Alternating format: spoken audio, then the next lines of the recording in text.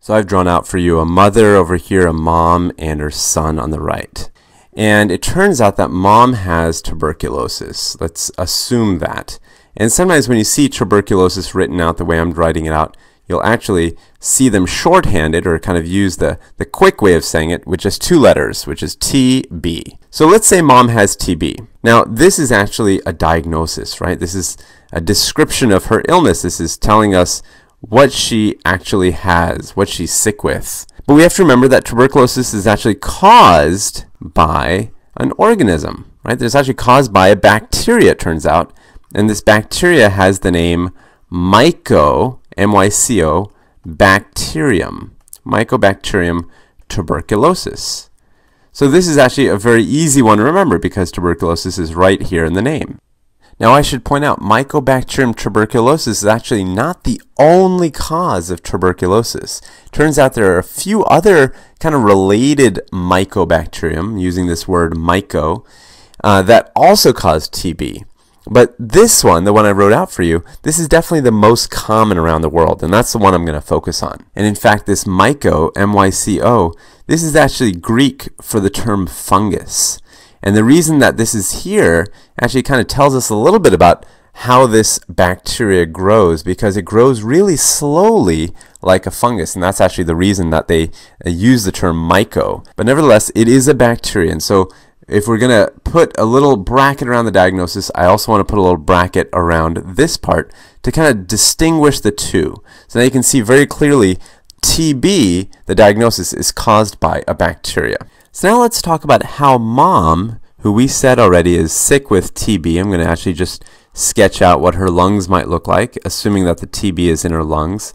Uh, this is actually the, the most common place we think of with TB, but not the only place. But let's say that she's got little red, I'm going to draw it in red, bacteria here in her lungs, uh, causing her to be very, very sick with tuberculosis. You know, she could spread it to her son. But what are the different ways that she might spread it? What are the most common ways? Well, let me sketch out a few possibilities and we're going to go over whether these possibilities are very likely or unlikely to be uh, a way for her to spread disease uh, to her son. So let's say first, you know, they're sharing this delicious pizza I'm drawing here. They're, you know, let's say they're very into pizza and they, you know, like to share food and they both, you know, chow down on this little pizza here. That's one way they might potentially you might think of as a, as a way to spread it. Uh, maybe they're even sharing a drink. Maybe there's a drink here. You know, and this drink, you know, they're sharing again. You might also think about, you know, what's going on in their house. Maybe they're opening and closing doors and maybe they're touching doorknobs. There's another way, right? Maybe they're touching stuff uh, in common. Uh, maybe she says to him, hey, here, grab these keys and she's been holding the keys all day and then she gives him the keys and he holds the keys. You know, there's another way, right? Maybe the TB can touch objects in the environment like a doorknob or a, or a key. And then there's the most obvious way you might be thinking. Might, maybe she's coughing. Maybe she has a, a loud cough. You know, maybe she's coughing all day and some of these bacteria get in the air, right? So that's another way that you might imagine that the bacteria could spread from her to her son. So different ways, right? Now of these ways, uh, I'm going to actually label this one over here. Let's say this is through the air. Which are the most common ways to be really concerned about TB spreading? And I'm actually going to just put it in green so it really sticks out. The most common way is what we call person to person through the air. So in this case, the, the first person would be mom because she's sick, and it's going to go through the air down to her son. And these other ways, you know, for example, food and drink, that's really not so common. That's really, really unlikely to be a way of spreading TB. And in fact, even this down here is really not likely either. So the idea of getting TB by sharing food and drink or touching objects in your environment like the keys or the doorknob or things like that, that's really not how TB spreads usually. Usually it's spread through the air. And one person, the sick person, is usually coughing a lot and then the other person might breathe it in. So let me make a little bit of space on this canvas and let's talk about what happens next. I'm going to draw one alveolus here and then I'm going to copy it a few times just so you can see a few different possibilities in terms of what might happen and these represent the son's alveoli. These are the son's alveoli. Uh, of course these are the tiny little air sacs at the very ends of the bronchial tree, right? So let me make a few copies of this. So there we go. We have four possibilities, right? Possibility one, two, three, and four. I'm basically going to go through different scenarios, different things that might happen when mom coughs. So maybe she coughs, and the first possibility could be that the bacteria, you know, they just don't get far enough. They don't actually make it to the son and he never ends up breathing them in. So if this was the case, there would be no uh, bacteria in his alveoli. Of course, his, his lungs are nice and clean. Let me draw his lungs in.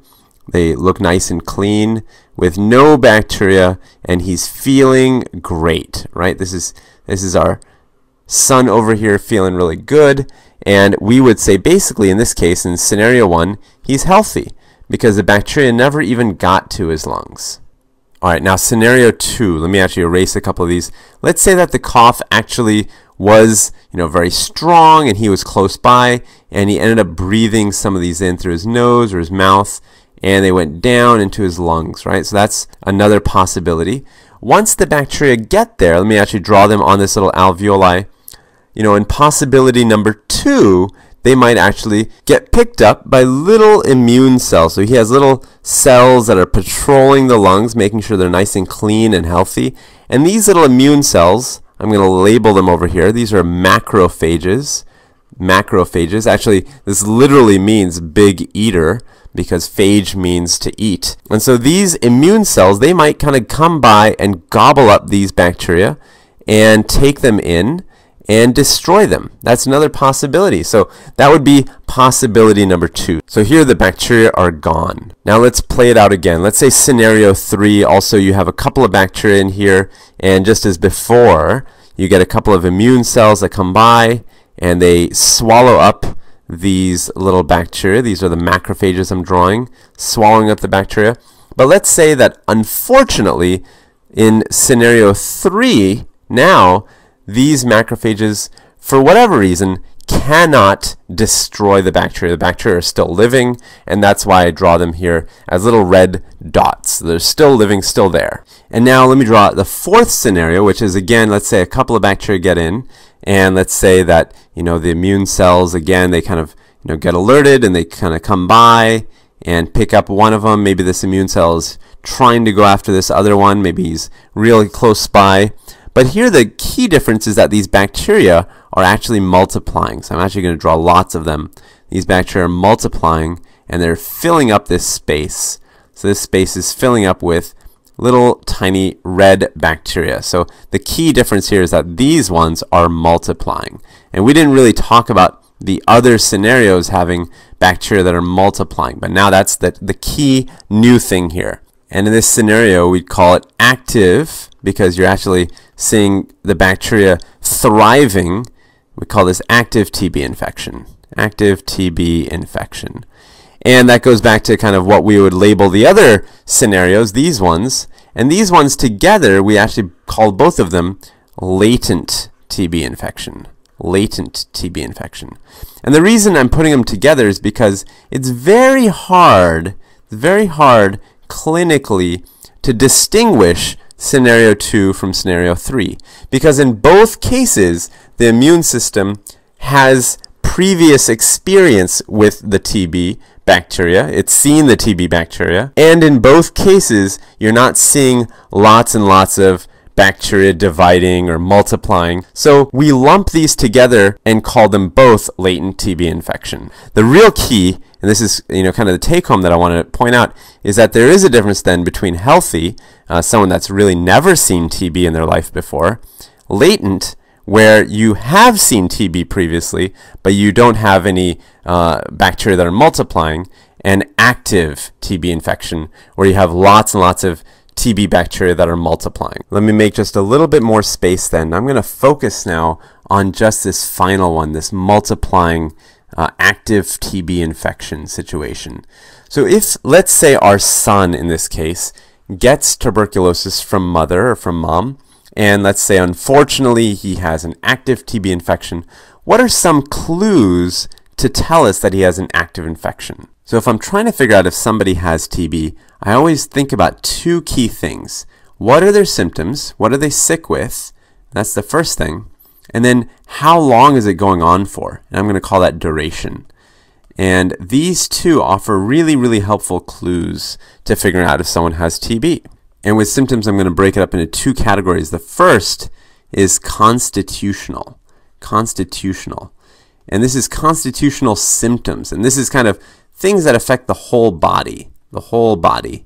So I'm just going to put a little bracket on the entire body to, to remind us of that. And this could be things like, you know, fevers or chills. You know, you can't say, you know, you can't really point to one part of your body and say this is the part that's having fevers and chills. You'd say, well, just generally I feel awful.